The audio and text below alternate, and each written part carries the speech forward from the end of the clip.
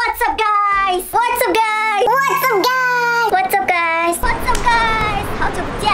大家好，我是安琪，我来自外蒙古，目前在台湾读书，同时也是一位 vlogger。语言是让人在不同国家同时无阻和了解当地文化的重要工具。为了让我更熟练使用它，一影片的观看者有不同的语言组合，我通常使用蒙古话。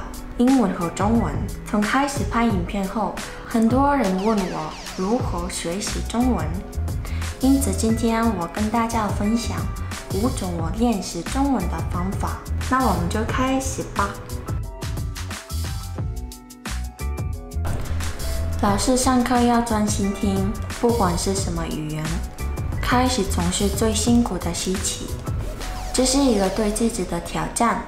因为如果没有办法通过课程的考试，我们将会失去我们的奖学金。像我现在大四只有两门课是英文，其他的六门课是中文。上课时我总是坐在前面，避免听不到的情况发生。有时候老师的解说或是同学的报告可能很无聊，但是恭喜你，因为你的中文进步了。可以听得懂他们所说的内容了。图书馆是一个很好的地方，学习每种语言都需要练习。下课以后，我总是去图书馆练习中文。安静的环境让我更专心学习。点石成金是我很喜欢的成语。只要持续努力，任何事都会成功。我很喜欢看卡通和电影，这可以让我放松一下。但是我都会使用中文的字幕。午餐时间，手机是我的好朋友。我可以随时复习我所学的新的单词。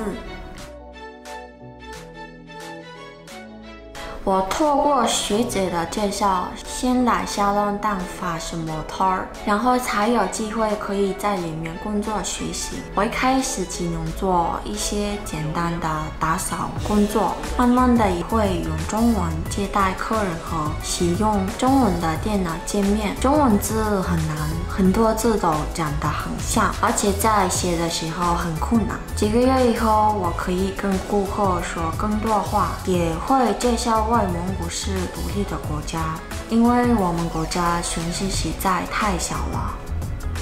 很多人不知道蒙古是怎样的国家呢？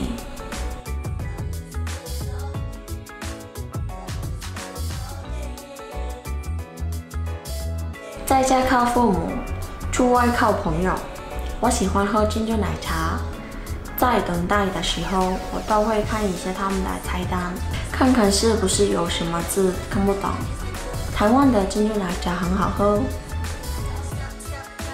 跟同学有良好的互动是非常重要的，因为上课中老师所教的东西，不懂的都可以问他们。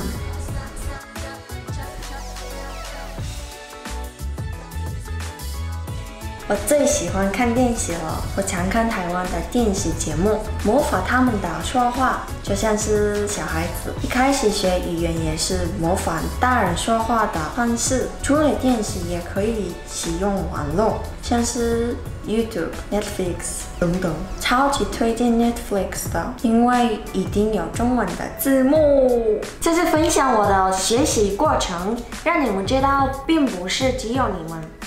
觉得中文很难而已。最后送大家一句话：有志者事竟成。我下一个教中文的影片会解释是什么意思哦。欢迎在下面留言，我会尽快回复你们的。感谢你们的收看，再见。